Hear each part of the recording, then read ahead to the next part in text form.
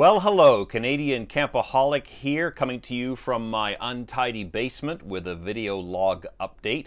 Uh, it is early February now. In fact, today is Groundhog Day, and the majority of the giant rats that predict the weather uh, stated that it will be an early spring, and I'm certainly hoping for that.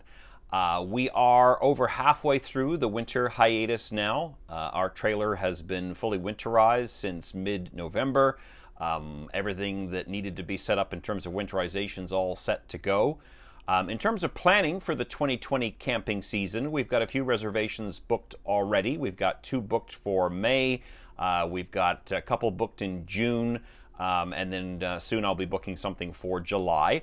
Uh, a lot of people uh, getting used to the new reservation system for Ontario parks. It's certainly a, a, little bit different, but so far I've had no major issues with it. But as usual, uh, availability is, uh, is drying up very, very quickly. Uh, if everything goes according to plan, uh, we should be camping by early April, fingers crossed. So we're a little bit over two months left in the winter hiatus. And I have to say, this winter hiatus has gone by pretty quick so far. Uh, work has been very busy. Uh, we had the Christmas season or the holiday season, and that was uh, pretty good. Um, and lots of things going on. Um, some updates for me personally, um, my wife is expecting our third child uh, coming up in July, so that's going to be interesting. Um, I've never really gone camping with uh, a newborn before. Our daughter was, I want to say, a little bit under two years old when we started camping. Um, well, started this range of camping. I've camped when I was a kid. Uh, so that was different. Um, but I think the one great thing about having another baby is that that's another kid that is uh, going to enjoy camping for quite a long time. And maybe when my son, who is 10, and my daughter, who is 8, when they get to a point where they don't want to come camping anymore, hopefully that doesn't happen too soon, we'll have another little tyke uh, that'll want to come along uh, with us as well. Um, the other uh, big development and update, which happened actually in August, was that we got a dog. Uh, we adopted a Great Dane puppy uh, by the name of Gracie. She's now seven months old, weighs 95 pounds. Uh, she's a big girl.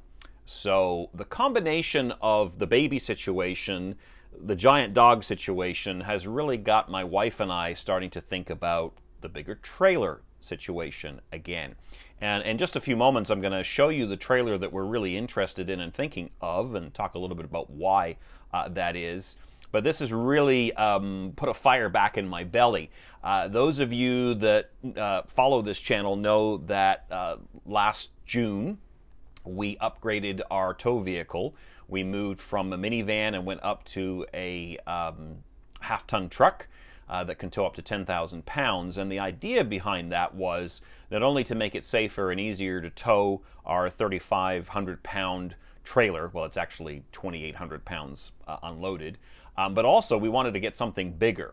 Um, but the combination of, of flipping a vehicle that we'd only been financing for two years and the fact that I've only had the new travel trailer for a couple of years, um, my credit kind of took a hit from those uh, expenditures, shall we say, and the bank kindly said no. So uh, that was a little disappointing, but we got to enjoy having this great uh, tow vehicle, and it made the whole towing experience uh, so much better. But now that baby number three is on the way, we've got this dog that could end up being around 130 pounds. Uh, we have to think about a, a, a, bigger trailer. So our goal this year is to pay off some of our debts, um, uh, to get my credit into a, a, better position, and it's already improving quite a bit, which is great. Because probably towards the end of the season, if all goes well, knock on wood, um, we want to look at, at um, upgrading to a, a, much bigger trailer. Um, again, I'll show you the details on the trailer in a minute, but it's going to be tricky because we we financed our trailer on a 20-year term, which is what a lot of people will do with RVs.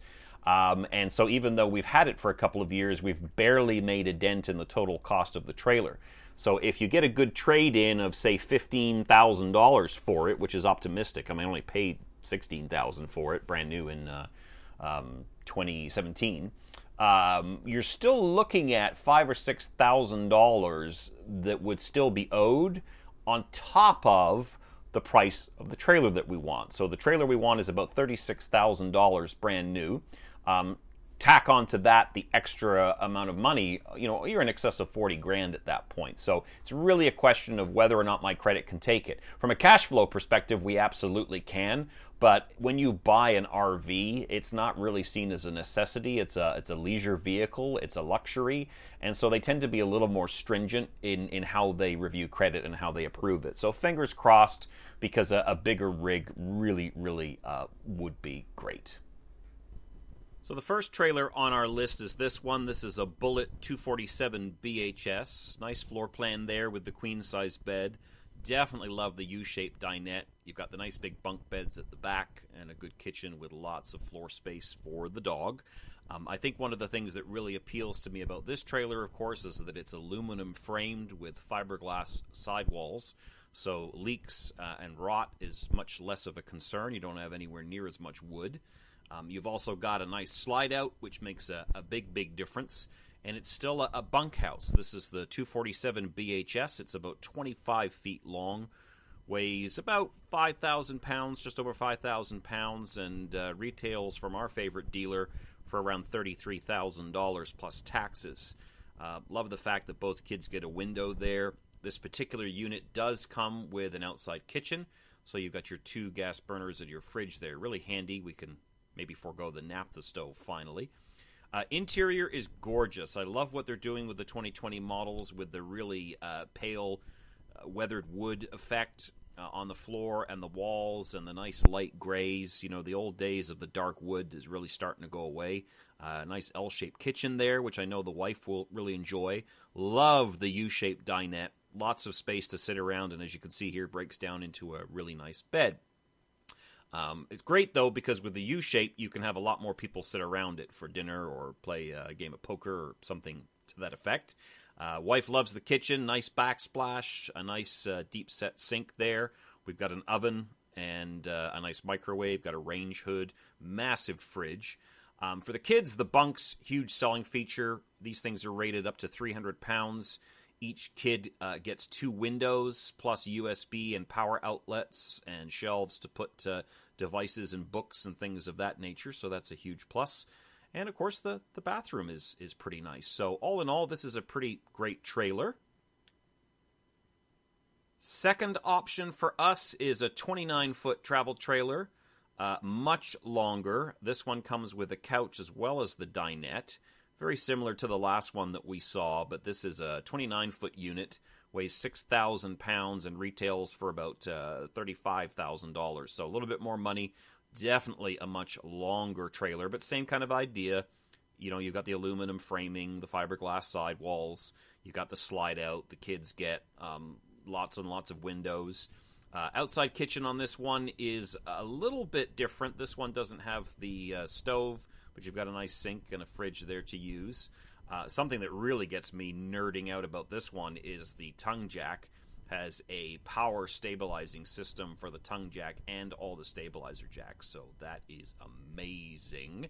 Uh, interior, very spacious. Again, the pale cabinetry. Got the nice queen size bed up there, the L shaped kitchen. Um, but the big difference with this one is uh, with this particular model, um, you've got the couch.